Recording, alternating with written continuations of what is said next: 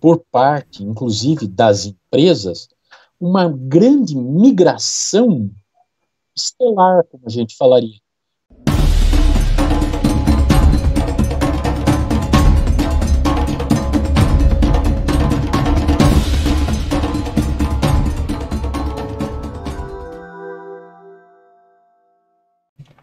Salve meus irmãos, e aí, tudo na paz? Mais um programa Física e Magia com o professor Rogério Bueno, e hoje nós vamos tratar de um assunto muito interessante que é como a iniciativa privada está ganhando a, a frente na corrida espacial. E nós vemos isso gerar um certo desconforto nos governos, às quais essas iniciativas prestam contas.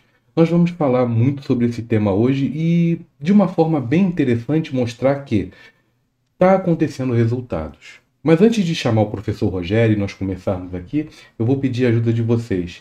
Vamos dar continuidade ao, ao trabalho aqui do, de auxílio ao padre Júlio Lancelotti. Ele tem feito um trabalho muito importante em São Paulo. E eu estou deixando para vocês aqui na tela do vídeo, vou deixar na descrição também, todas as, as formas de você tentar ajudar. Tem o Pix dele, faça um Pix para o padre, é, Júlio, o padre Júlio Lancelotti, porque ele precisa de ajuda. Ele precisa de ajuda para manter várias pessoas com alimentação. Ele está ajudando pessoas a garantir a vida. Está mantendo a vida, não somente a garantir a vida dessas pessoas, mas manter a vida dessas pessoas que estão passando por determinadas dificuldades. Peço auxílio a todos vocês que puderem. Professor Rogério, boa noite, seja muito bem-vindo, meu irmão. Obrigado por mais essa oportunidade. Boa noite, João. Imagine, o prazer é todo meu, né? E, reforçando as suas palavras, sim, vamos tentar ajudar o melhor possível o padre Lancelotti, porque ele tem tentado só e tão somente manter as pessoas vivas, o que ultimamente está sendo bem difícil. Nem fale, meu irmão. Nem fale. E é estranho, né? Porque hoje em dia nós vemos pessoas que se esforçam para tentar fazer algo de bom e sem um motivo que pelo menos eu consiga compreender, sofrem ataque.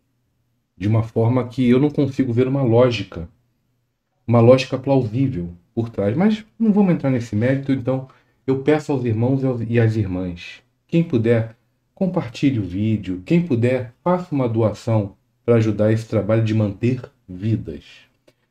E não esqueçam de deixar o like, se inscrever aqui no canal, tá bom? Se você gosta do trabalho que é feito aqui, pode ajudar de forma mais ativa, seja um membro do canal. Toda ajuda é bem-vinda e necessária, desde que não desequilibre vocês. Meu irmão, por favor, vamos vamos nos abster disso e vamos tentar cada vez mais ajudar não somente o padre, mas todas as iniciativas que são iniciativas produtivas à vida, trabalhadores da luz independente da religião deles. Ô, Rogério, você estava conversando comigo que Hoje, hoje em dia, as iniciativas privadas, eu acredito que você tenha se referido principalmente ao governo da China e ao governo dos Estados Unidos, estão tendo muito, muitos bons resultados quanto à questão da corrida espacial. Você disse que nós vamos ter o primeiro motor capaz de dobra, é isso? É, não digo capaz de dobra espacial, né? Porque daí você estaria subentendendo superar de uma maneira, como é que eu vou dizer, superar de uma maneira, através de um truque físico, né, a velocidade da luz. Uhum. Tá? Mas esse não é o caso ainda. Mas eu não, não, não descarto esse caso acontecer nos próximos, talvez 50 anos. Tá? Talvez pouco mais, talvez pouco menos. Não sei. Não dá para se precisar, mas pelos últimos, é, vamos dizer assim, passos que a gente né, as últimas atualizações, né, as últimas publicações científicas nesse, nessa área, né, nesse ramo, vamos por assim, nos levam a concluir né, que, sim, nós devemos estar dando grandes saltos em matéria de, de velocidade de deslocamento, né, principalmente, por enquanto, dentro do sistema solar. Uhum. Tá? Provavelmente, como eu disse, daqui uns 50 anos no máximo, nós possivelmente poderemos estar, inclusive, dando passos fora do nosso próprio sistema solar. Tá? indo, como a gente diz, em direção às estrelas. Né? Sim. Mas é, vamos deixar isso por agora como uma possibilidade razoável, bem fundamentada, mas ainda uma possibilidade, não uma realidade. Agora, dando um passinho para trás, mas um passo pequeno atrás, nós estamos vendo, ah, como é que eu vou dizer, o desenvolvimento de novos motores, principalmente motores de pulso de plasma, né? Entenda-se plasma como o quarto estado da matéria, ou seja, não é nem líquido, nem sólido, muito menos gasoso, mas seria, vamos dizer, entre aspas, né, de uma maneira assim bem simplória e bem simplista, a conjunção desses três estados mais conhecidos e mais vivenciáveis por nós, pela nossa realidade, na forma de um jato de energia chamado plasma, tá? Se você procurar na internet, tem uma série de equipamentos que utilizam plasma, por exemplo, para corte de metal, para uhum. um monte de coisa. Hoje em dia se usa plasma assim de uma maneira bem extensiva, principalmente na área assim de, de caldeiraria pesada, né? Se usa muito. Metalurgia sol, seria correto? Também, também. É, eu diria para você que hoje em dia, a, a, siderurgia como um todo, né, digo assim, o tratamento a, a, de metais e tudo mais, hoje o plasma está muito presente dentro da, da engenharia metalúrgica, né? É, eu digo assim, metalúrgica no sentido da engenharia de metais, de compostos metálicos e tudo mais, né? Ou seja, é, é, tudo na produção de, de materiais, instrumentos para as mais diversas áreas. Podemos entender Com dessa certeza. forma. Com certeza. Eu vou dar dois exemplos bem bobos. Desde o bisturi a uma placa de motor, por exemplo. Até um pouco maior. Desde um, um simples bisturi, né, simples em modo de dizer, mas uhum. de um pequeno bisturi ao corte de uma placa de aço enorme que vá fazer o costado de um navio, por exemplo. Sim. Né?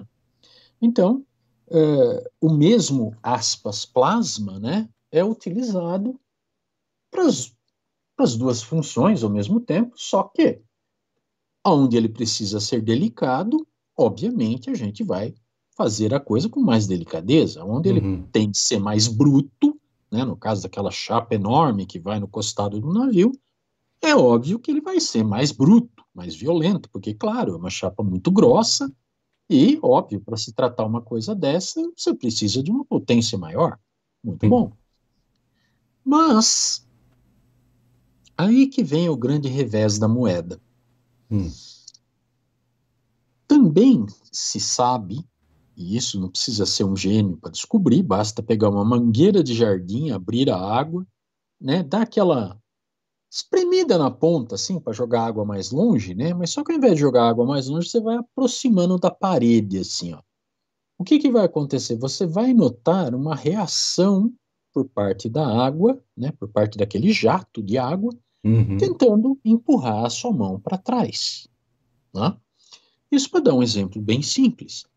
E é o exemplo, como a gente diz, do motor de foguete, do, da turbina de reação de um avião, né?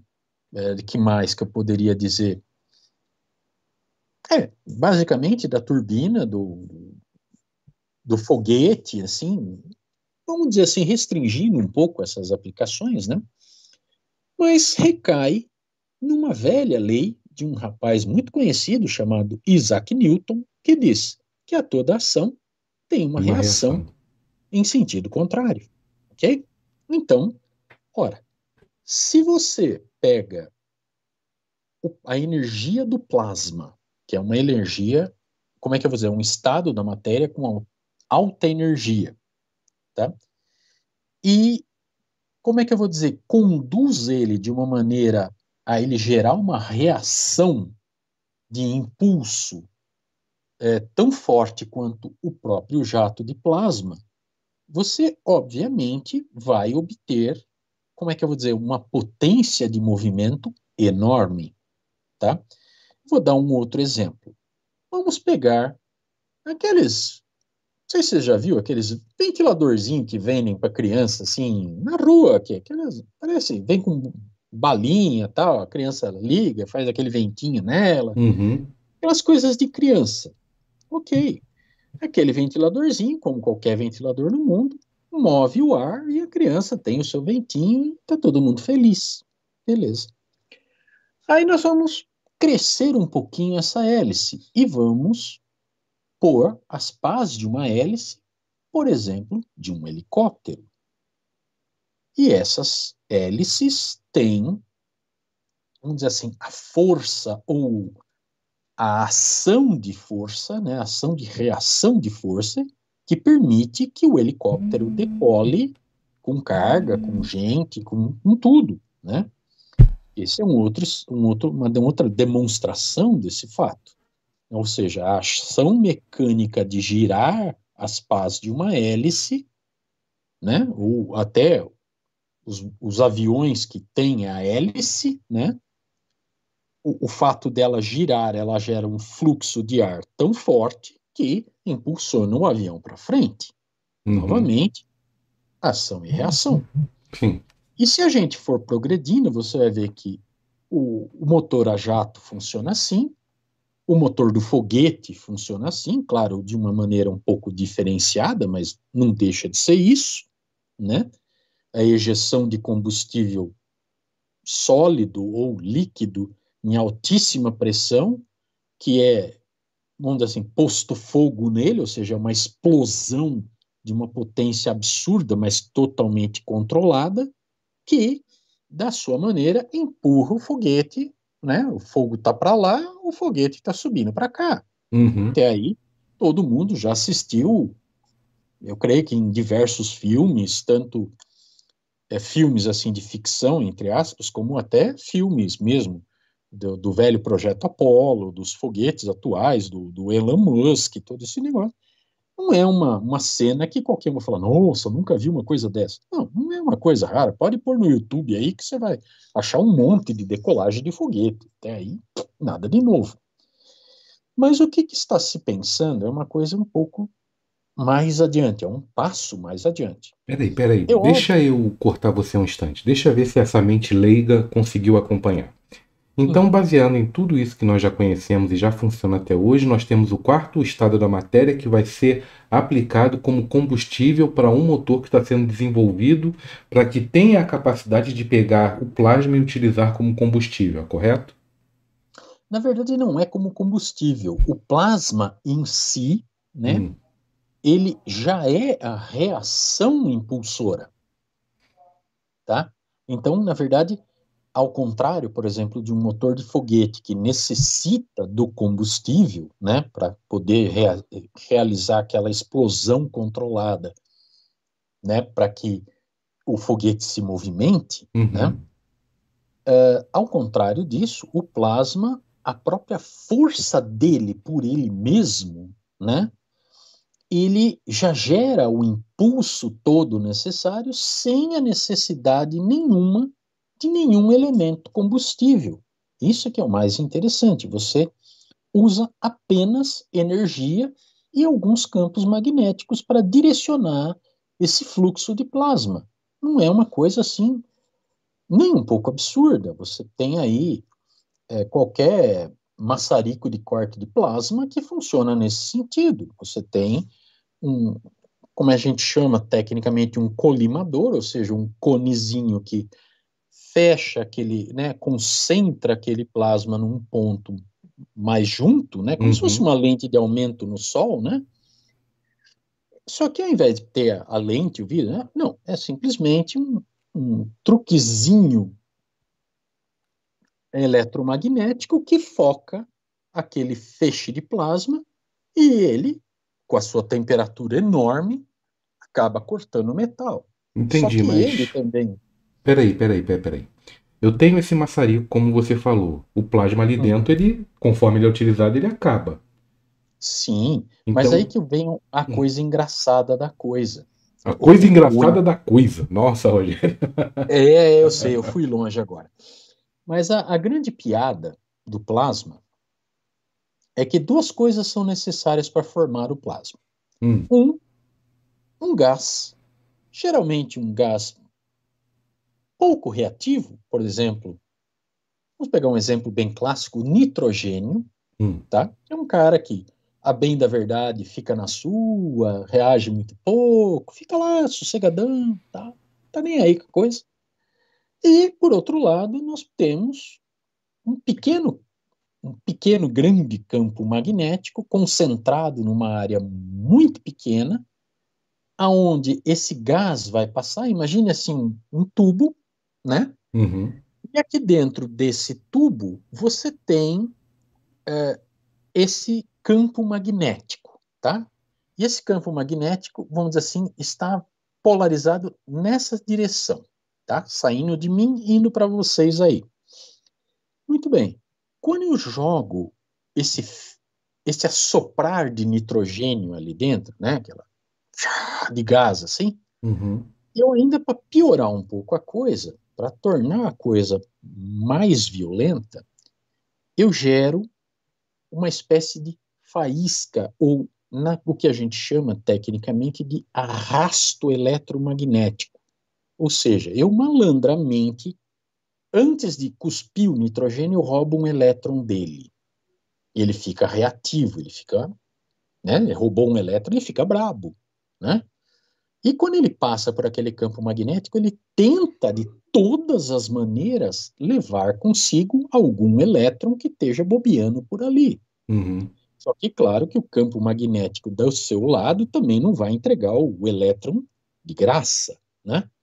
E nessa briga toda, no outro lado, quando você sai desse, como é que eu vou dizer, desse campo magnético, duas coisas aconteceram. Primeiro, hum.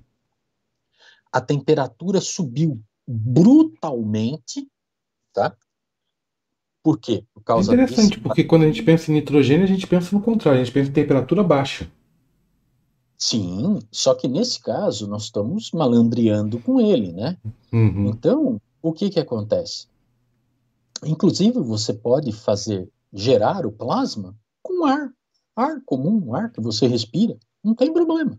Isso é a base tá de certo. criação através do nitrogênio. Mas a, então o nitrogênio, por esse processo, já cria o plasma ou é necessária alguma matéria para ser transformada durante esse processo? Não, não, não, não, não, não. É simplesmente o campo magnético, a ejeção do, do nosso amigo nitrogênio. Claro, a gente dá uma sacaneadinha nele para poder aumentar a potência da coisa. Né? Você fala isso Mas... com uma simplicidade, como se fosse um campo magnético, passar nitrogênio por um tubo num campo magnético e remover um elétron dele. Imagina todo o maquinário para dar essa sacaneadinha. Acredite se quiser, eu vou, eu vou falar uma coisa que você vai cair de costa. Hum. O truquezinho de roubar o elétron, na verdade, é, é, um pouquinho antes do campo magnético. O que, que a gente faz? A gente pega, coloca o que a gente chama de luva, ou seja, um tubinho de magnésio em cima do, como é que eu vou dizer, do, do tubo, né? Tubo propriamente dito, sei lá, de plástico, de borracha, o que quer que seja. Você encapa o tubo com uma camisinha, uma camisa de magnésio. E o que, que você faz? Corre uma corrente positiva no magnésio. Hum.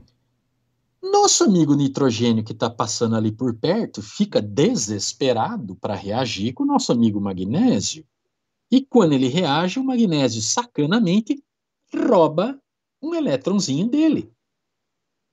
E aí, esse nitrogênio que já passou por ali, já com pressão, com violência, uhum. roubaram um elétron dele, ele já sai pé da vida dali. Cai num campo magnético que vira uma guerra, um braço de ferro miserento. E aí o que, que acontece? No final dessa história toda, sai um belíssimo jato de plasma, tá? Por exemplo, um, um e isso é acumulado para ser mantido numa estrutura para poder dar vida àquela estrutura. Como eu não quero utilizar a palavra combustível, mas ele vai energizar uma determinada estrutura que é isso que está sendo trabalhado hoje. É mais ou menos isso. Porque isso eu posso entender que você está me falando que está fazendo uma, um, um jato de plasma o jato de plasma ele pode ser comportado ou ele pode ser utilizado como um maçarico, por exemplo, como você bem colocou. Sim, na grande maioria das vezes, ele é utilizado como um maçarico. Só que, como todo bom maçarico, hum. né, pode ser aquele de gás comum que a gente conhece, oxacetileno e blá blá blá, né? Uhum. Bom, mesmo esse de oxacetileno, quando você está cortando a bendita da chapa, ele, obviamente, ele reage, porque, claro, ele gera uma força, né, junto com o calor, ele gera uma força baseada na pressão dos gases que o compõem né? Então, mais o fogo, né, a reação de queima e tudo mais, isso obviamente gera uma força sensível. Você sente no maçarico, conforme você aproxima da chapa para cortar, né? Você sente a coisa reagir contra você. É óbvio que não é nenhuma reação absurda, mas você sente um, um movimentozinho contrário, uhum. né? Aí você vai lá com, é, controlando a coisa e vai cortando o metal. A mesma coisa com o maçarico de plasma, que é praticamente, entre aspas, a mesma coisa, só varia a temperatura. Né? Por exemplo, um maçarico de oxoacetileno, né, oxigênio e acetileno, a queima desses dois, né, a chama gerada por esses caras, chega em torno de 1.500, 1.800 graus, tá? Um jato de plasma feito com o nosso velho amigo nitrogênio, ele chega a bagatela de 5 mil, 6 mil Nossa, graus Celsius. Então, tá vendo? Uhum.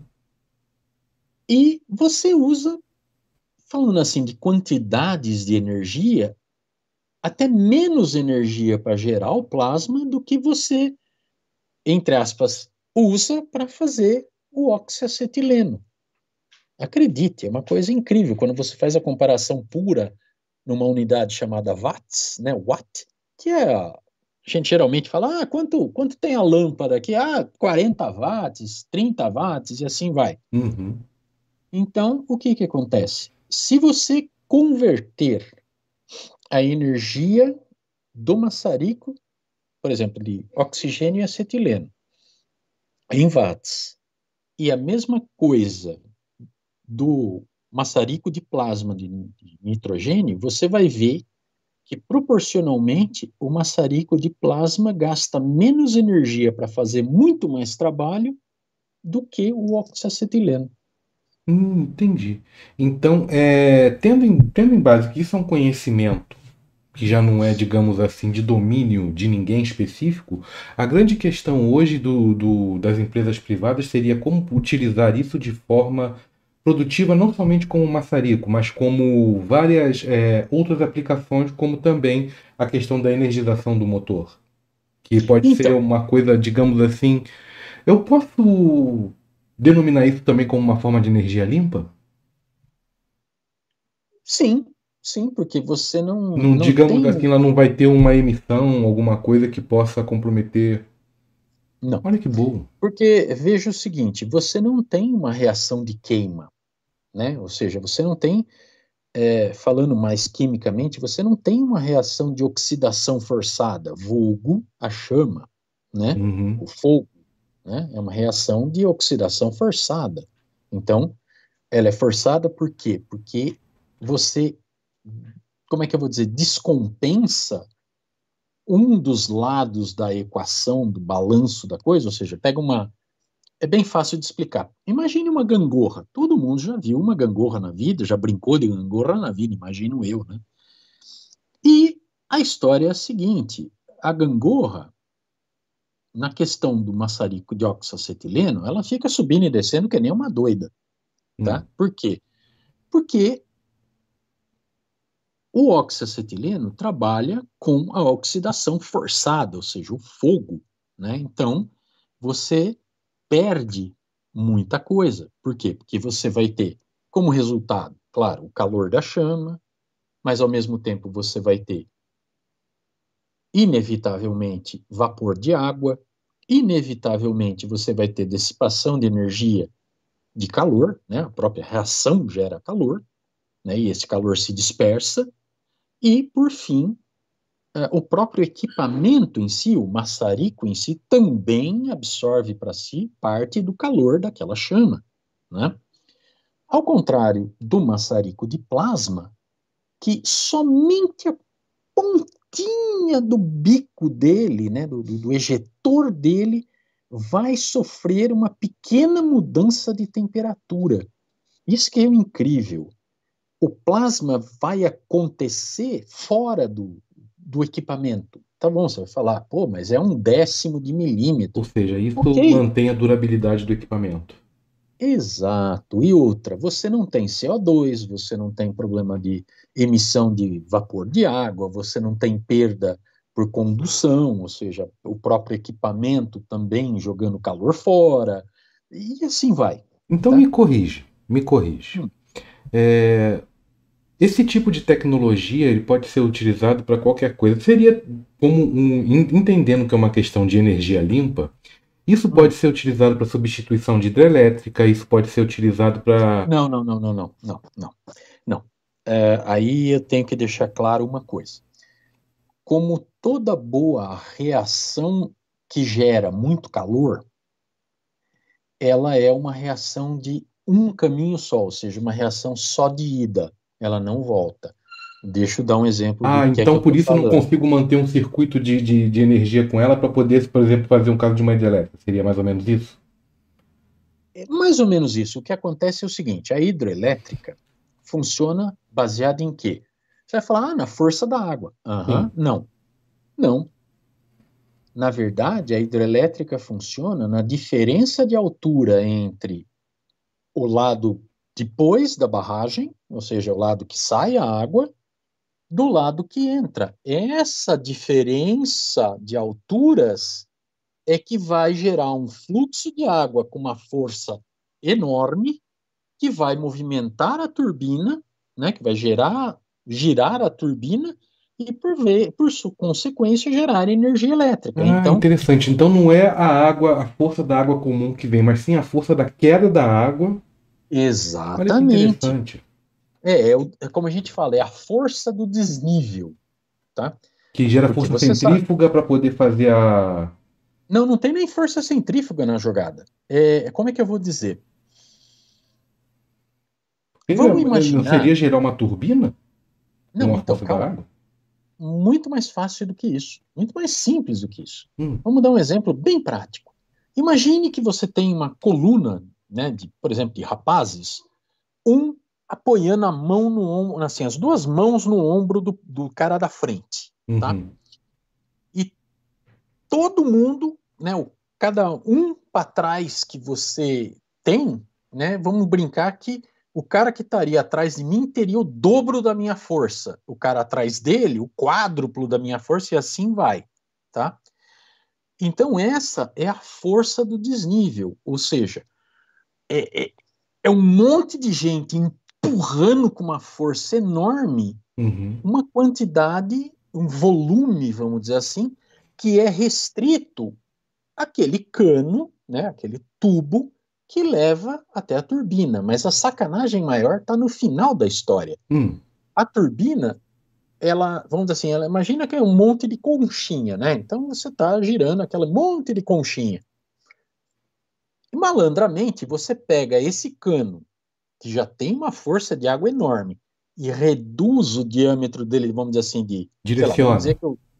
É, não, vamos dizer que você tivesse um, um diâmetro do tubo de 5 metros. Hum. Quando chega na boca da turbina, você está com 2.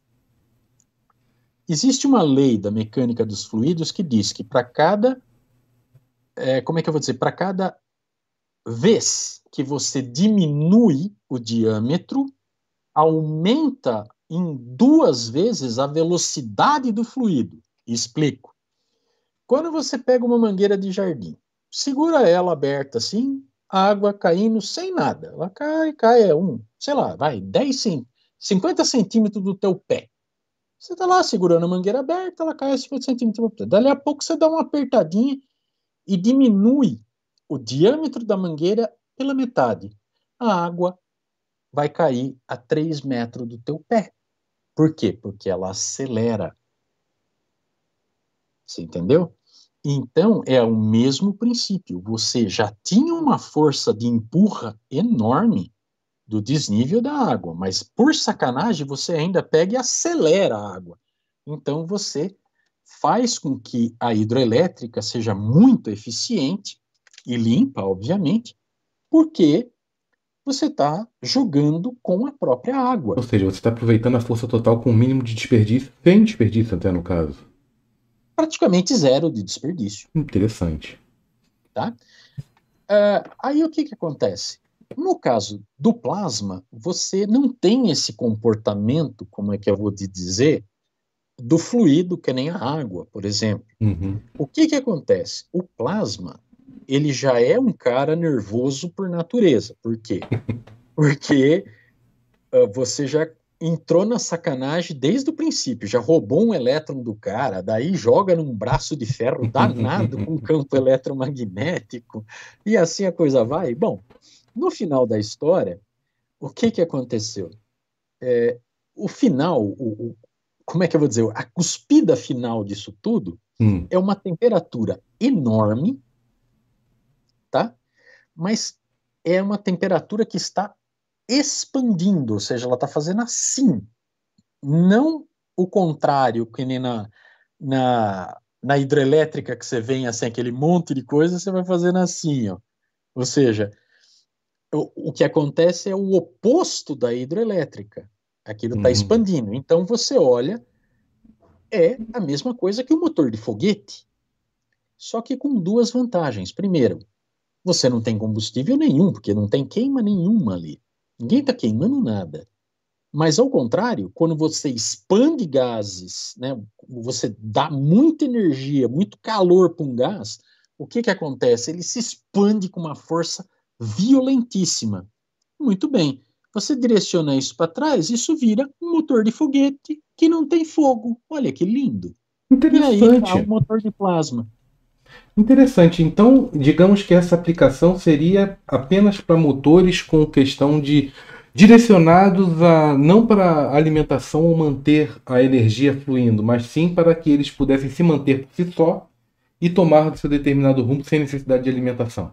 Seria isso? Exatamente. Só que tem, só que o detalhe da história é o seguinte: a única coisa chata, o único detalhe chato dessa história é que o motor de plasma ele não funciona dentro do campo gravitacional da atmosfera da Terra.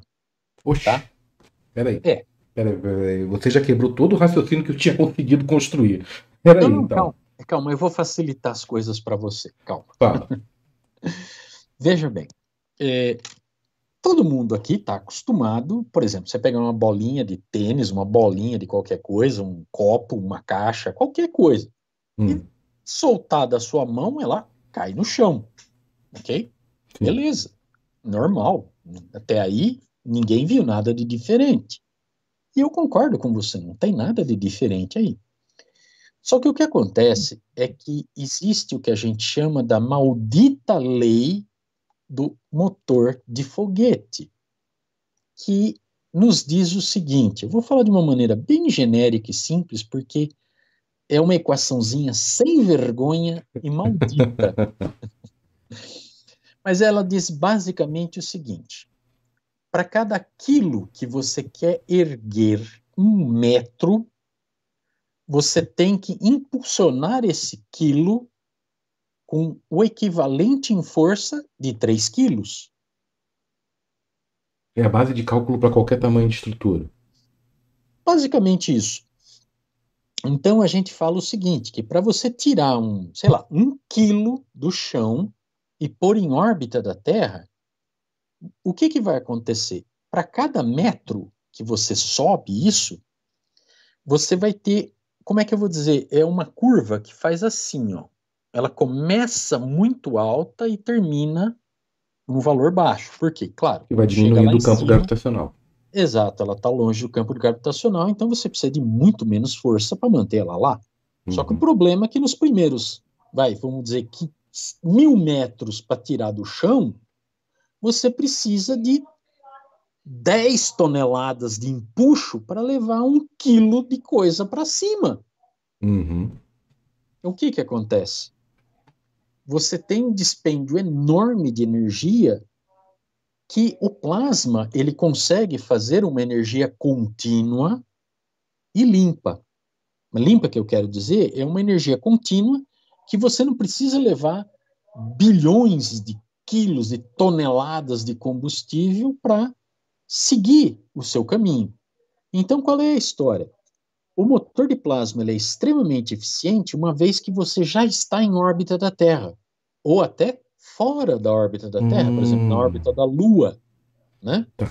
Então, trazendo essa. Dali... Desculpa, Rogério, deixa eu te cortar de novo para tentar deglutir isso e fazer com que o pessoal também, com as minhas palavras é, leigas, tentem entender melhor. Então, deixa eu ver se eu entendi. Com base naquilo que nós é, estamos abordando, a explicação do que é e para que serve, isso se torna muito produtivo hoje para uma questão de um trabalho fora da órbita terrestre. Beleza. Sim. Então, é por isso que as empresas estão sei lá, desde, eu, eu, imagino que até mesmo mineradoras possam estar investindo para estar tá vindo a, a, poder fazer isso, principalmente com alvo inicial Lua e depois espaço afora. Hoje em dia, eu só eu, o primeiro nome que me vem à mente quando eu penso na iniciativa privada e corrida espacial é o Elon Musk. Então, tem uns outros carinhas juntos com eles, né? Tipo Jeff Bezos, tipo, Jeff Bezos, sim. Tem, tem aquele cara da, da, da Virgin, que é um cara, assim, já é um cara assim de boa idade e tal, mas um cara muito doido, é, é Richard, não sei das quantas o nome dele, agora não vai me vir na cabeça, mas em resumo, tem uma meia dúzia de caras aí que estão vendo uma oportunidade ímpar no espaço. Veja, por que que essa história do motor a, a, por movimentação de plasma está vindo tanto à baila? Hum. Eu vou te dar um exemplo. Com a tecnologia de foguetes que a gente tem hoje, tá? Hoje, uma viagem na melhor janela, ou seja, na melhor, no melhor posicionamento entre Marte e Terra, você leva aproximadamente seis meses, tá? Para sair da Terra e chegar em Marte. Ok? Uhum. Muito bom. Só que para isso você gasta alguns bilhões de toneladas de combustível. Tá? Muito bem. Vamos dizer, vamos limitar. Eu estou falando assim, eu vou decretar que um bilhão de toneladas de combustível levariam uma nave da órbita terrestre à órbita marciana num período de seis meses. Uhum. Ok? Muito bom. Isso é só para dar um exemplo. Muito bem. Só que você tem que pensar duas coisas. Bom, primeiro, nós temos toda a aceleração inicial, daí temos a viagem propriamente dita. E a volta. Não, pior. Tem a desaceleração, porque senão você passa batido, né? Para chegar em Marte. Uma vez que você está orbitando Marte, tudo certinho, fez tudo que você tinha que fazer, toca, reacelerar de novo e voltar para a Terra. Bom, nessa brincadeira você pode multiplicar a sua questão de combustível por 5. Então, o que era o que era um bilhão de toneladas já virou 5. Tá? Muito bom. Hum. Agora nós vamos fazer a mesma comparação com um motor de plasma. Veja, é, por enquanto, esse dado que eu vou te dar é, como é que eu vou dizer, uns 40% teórico e 60% já prático, tá? Já com uhum. testes que indicam a, a veracidade do que eu estou falando. Mas veja o seguinte, que para fazer esse mesmo percurso, eu não utilizaria meio bilhão de metros cúbicos de um gás qualquer. Com um detalhe: no caminho, eu poderia fazer o que a gente chama de colheita estelar ou espacial de, por exemplo, de hidrogênio, de algum oxigênio que tem para o caminho, algum hélio que está sobrando por ali. Resumo. Aí, espaço afora, tem Resumindo, resumindo, resumindo, um custo muito menor por ser você poder utilizar e você poder fazer uma nova alimentação no espaço, sem ter que carregar aquilo tudo. Não, e mais do que isso, João, você reduz, por exemplo, vamos, vamos de novo falar em, em números. Bom, 5 bilhões de toneladas, sendo, vamos dizer assim, vai, metade de oxigênio líquido, o que é um perigo enorme. Uhum. É um, como é que eu vou, eu vou dizer? É uma. É risco de combustão é, gigantesco. Não, é, é uma explosão esperando para acontecer. É um desastre esperando para acontecer. E do lado você ainda pega e põe, por exemplo, mais metade, mais 2,5 bilhões de toneladas de hidrogênio. Meu Deus do céu, você, você realmente você está querendo brincar com fogo, né? Você está querendo virar pó, né? Uhum. Ao contrário do que eu estou te falando, uhum. você levaria, sei lá, vai, vamos exagerar, um bilhão e meio de tonelada de nitrogênio. Ou seja, você pode botar um, o maçarico que você quiser, o fogo que você quiser, que o nitrogênio vai para a cara e falar. E. tá certo. E... Então, entendendo que isso então, é o geraria menos custo, é mais seguro.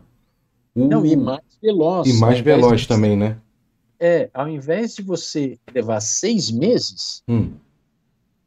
hoje, no que se calcula, você levaria uns dois meses e meio, na pior hipótese, três. Uhum.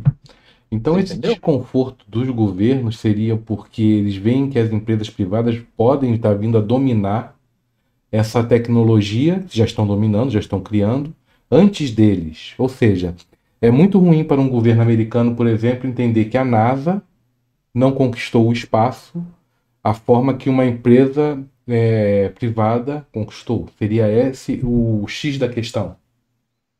É um pouquinho diferente. É quase. Chegou assim muito perto. Opa, então Mas me explica. Chegou como a gente disse, você acertou assim a um centímetro do centro do alvo. Porque aí eu deixo de ser, eu deixo de ser o controle do. Embora eu tenha o controle por ser o Estado, eu tenho o controle do capital. Do, uhum. Eu tenho o controle do capital, eu tenho controle de impostos, mas aí, o, digamos assim, quais seriam os precedentes para uma empresa que dominou matéria, dominou matérias-primas, uma, uma fonte, digamos assim, totalmente nova de, de, de material? Hum, não digamos, eu não conheço um precedente para isso. Tipo, uma pessoa que vai abrir uma empresa de perfuração e, e, no lugar que ela criou a empresa, milagrosamente ela achou um, um posto de petróleo. Seria algo mais ou menos assim. Não, bem diferente. Como o problema assim? é o seguinte: aí é que entra o detalhe da história. é o detalhe que tira o sono de qualquer governo. Hum. Veja o seguinte: é, fora da Terra, né, fora do, do que a gente chama de limites de fronteira de países, uhum. tá, onde os governos têm é, ao seu mando tanto a força militar, né, a força das armas, quanto a como é que eu vou dizer a coerção dos impostos, né, da coleta dos impostos. No espaço não existe é, como é que eu vou dizer, nem existe, nem pode existir países. Por quê? Porque você não tem como determinar uma fronteira, por exemplo, em Marte, ou num asteroide, num cinturão de asteroides que roda em torno do Sol. E assim vai. Ou seja, o que estiver fora da Terra não tem, o governo não tem como taxar, não tem como controlar, e não tem como comercializar, ou seja, ele está completamente fora do jogo. Entendi. Entendeu? Ou seja, então, só quem foi lá, quem fez o processo e pegou, é que manda como aquilo vai ser trabalhado, como vai ser feito ou não vai ser feito. Exatamente. Vira propriedade privada no sentido mais puro da palavra. Realmente privada, é meu, não é de ninguém mais. Não tem sociedade com o governo. Não, é meu. Por quê? Porque aqui não estamos falando de países, eu estou falando de um, um asteroide que eu conquistei, eu pus a minha bandeira, eu paguei para chegar lá e você não tem direito nenhum sobre a minha propriedade. Entendi. Aí é que mora o perigo. Então é por isso que os governos ficam muito nervosos, vamos por assim, conforme a iniciativa privada vai caminhando na direção de chegar a esse ponto, ou seja, de a gente ter empresas fazendo, por exemplo, mineração no, no cinturão de asteroides ou em Marte ou sabe Deus aonde, uhum. tá? E o governo chupando o dedo porque ele não tem como taxar. Sim. Imagino, imagino o que, que essa empresa faria no mercado econômico mundial. Ações subiriam, deixariam, ela seria as ações dela. Hum? Veja, eu vou te dar um exemplo, tá? Tem um, como é que se diz, um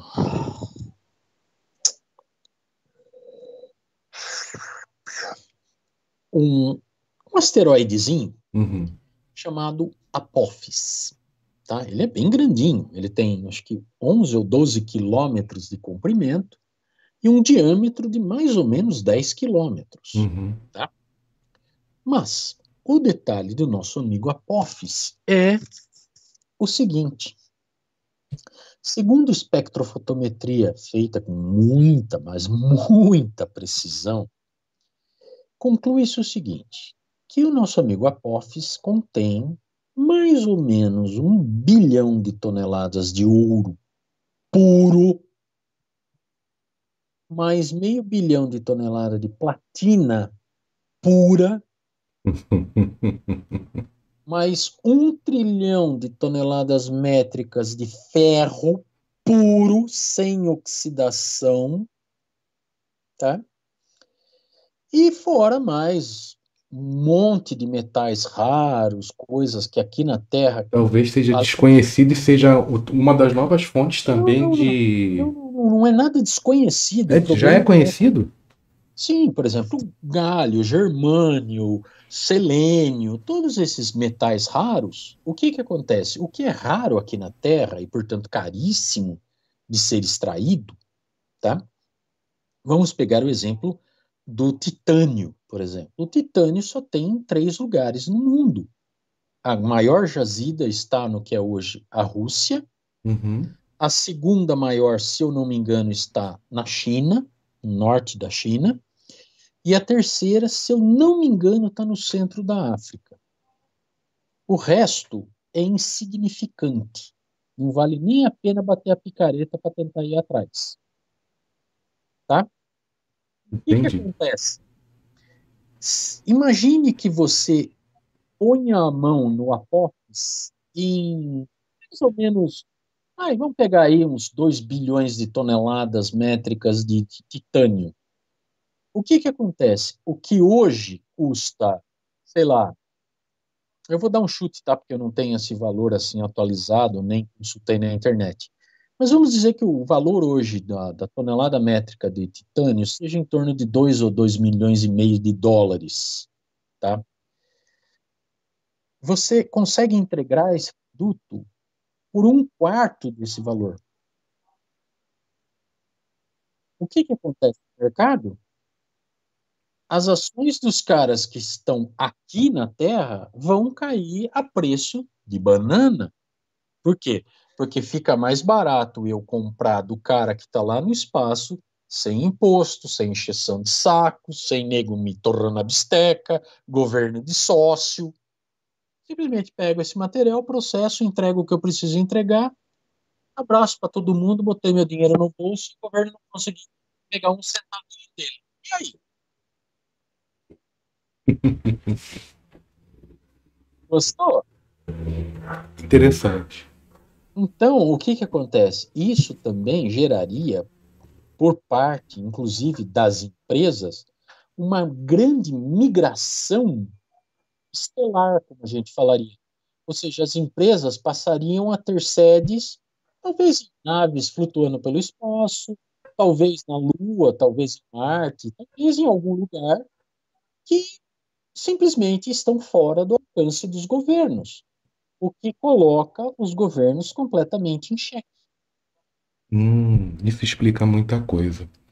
É, eu acho que a gente conseguiu sintetizar a, a, a ideia, explicamos o processo e, e colocamos o porquê desse desconforto. Uma última opinião minha, quero que você me corrija, é que a partir do momento que a primeira conseguir apresentar um resultado dessa corrida, vai. Nossa, nem me fale. A hora que o primeiro nego chegar com a primeira grama de, de sei lá, de qualquer coisa que ele pegou lá num asteroide, na Lua, o que quer que seja, que ele chegar aqui na Terra e falar, ó, meu preço é metade disso aí, cara, o mundo enlouquece. Isso eu te garanto. Todo mundo vai ficar doido. E é isso que vai acontecer. Tá certo. Meus irmãos e irmãs, muito obrigado. Espero que vocês tenham gostado desse, de mais esse bate-papo instrutivo. Eu peço a vocês, se vocês gostam do trabalho que é feito aqui, se inscreve no canal, deixa o like. Se você gosta do que é feito aqui, quer ajudar, seja um membro do canal. Toda ajuda é bem-vinda e necessária, desde que não desequilibre vocês. E mais uma vez eu peço, quem puder, vamos ajudar a campanha do Padre Júlio Lancelotti, que está fazendo um trabalho de manter vidas no estado de São Paulo. Muita paz, muito axé e até o nosso próximo programa. Boa noite, professor. Boa noite, João.